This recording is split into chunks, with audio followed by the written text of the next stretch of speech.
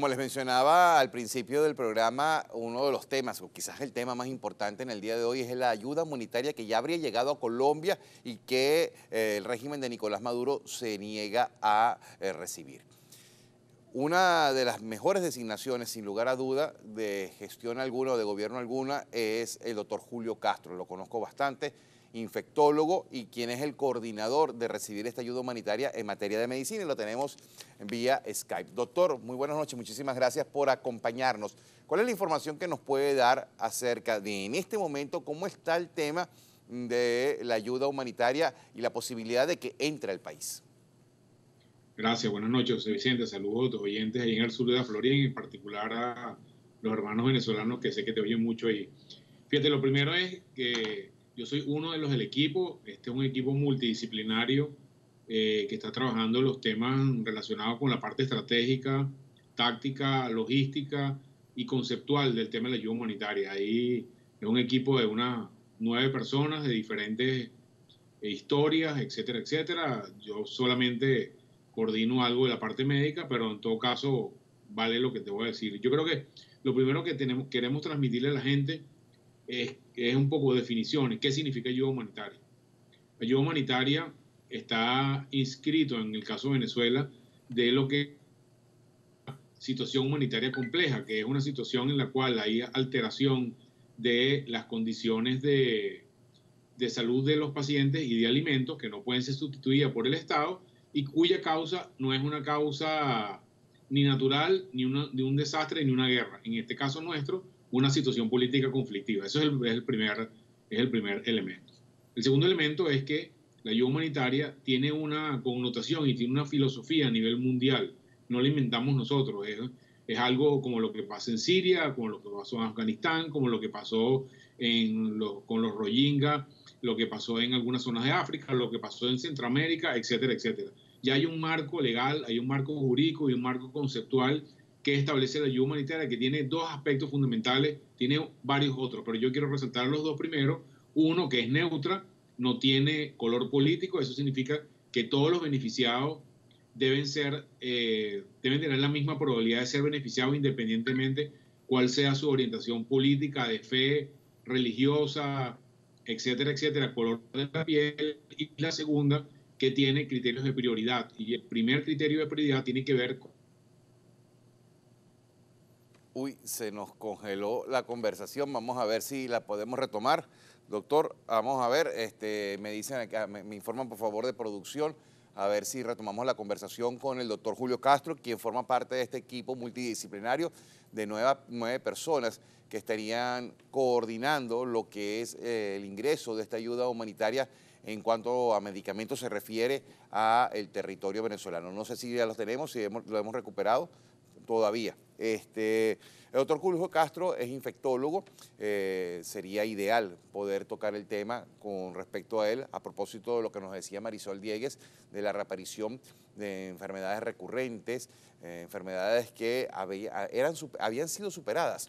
Eh, pero uno de los problemas que quizás se ha dado en Venezuela y por el cual se habría producido esta reaparición de las enfermedades, las vacunas, las vacunas preventivas desde cuándo no se suministran, si es que no se están suministrando, eh, ¿qué, porcentaje de la población este, estaría en la necesidad de atención tanto de vacunación de manera preventiva como de atención de algún tipo de enfermedad. No sé si ya tenemos al doctor Julio Castro, ¿no? Entonces, vamos, vamos, Eller, por favor, vamos a, colocar el, mm, si no lo podemos comunicar ahorita, eh, material que tenemos de Carla. ¿Ya lo tenemos? ¿Sí lo tenemos? Ok, eh, recuperamos la conversación con el doctor Julio Castro. Eh, doctor, me decía el segundo aspecto, disculpe, que se, lamentablemente se cayó la comunicación.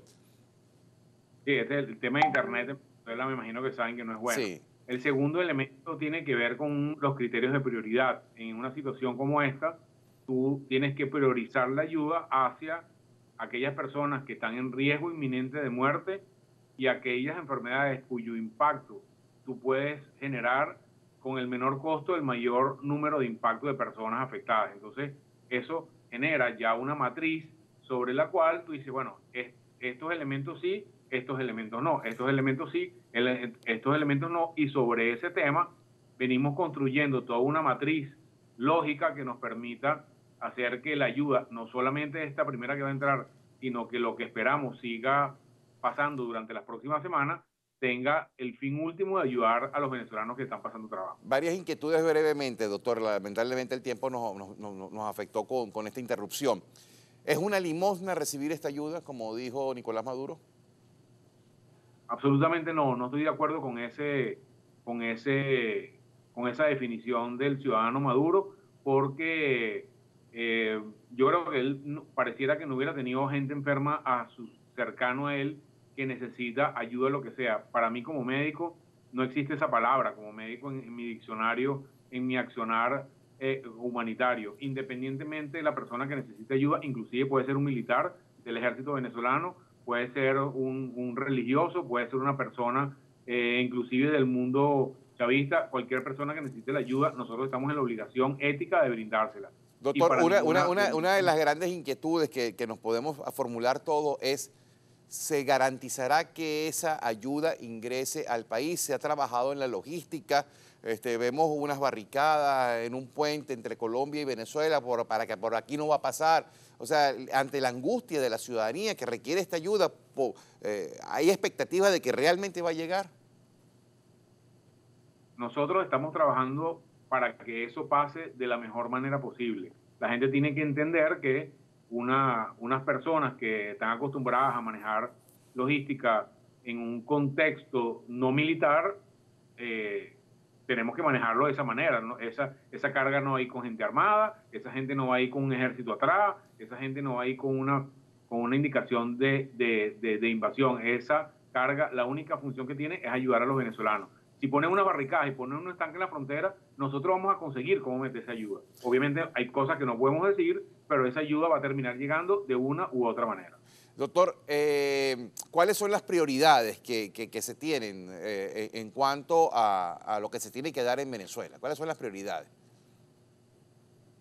la, la, necesidad es extrema, es mucha, es gigantesca, es un mar de necesidad. Eso lo tenemos clarísimo.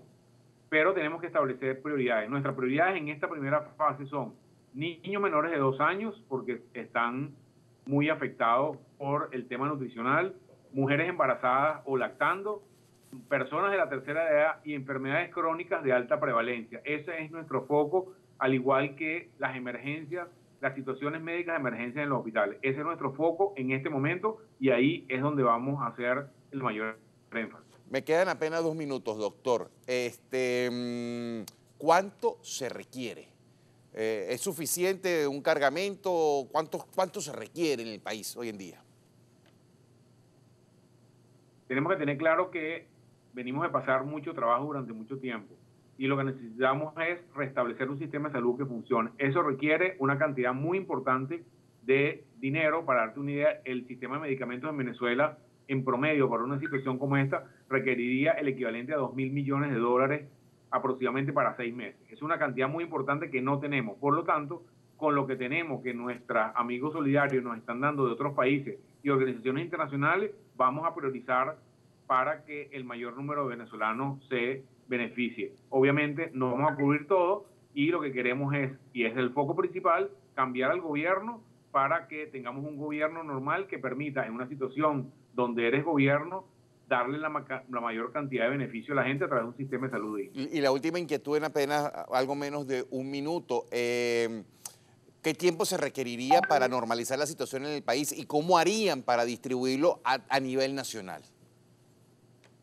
Eso depende. No pretende la ayuda humanitaria restablecer una condición de normalidad en los hospitales, porque no tenemos esa capacidad.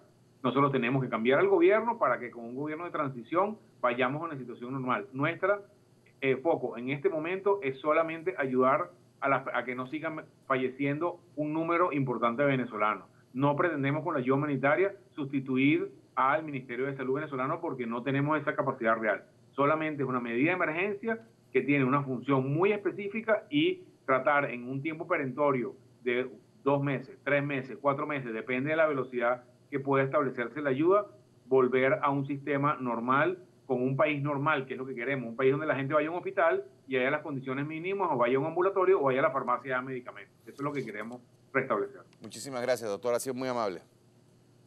Gracias, José Vicente. Gracias. Saludos a tu oyente. El doctor Julio Castro, coordinador del equipo que está trabajando para recibir la ayuda eh, humanitaria en materia de medicamentos. Vamos a la pausa y ya venimos con más de lo buenas noches.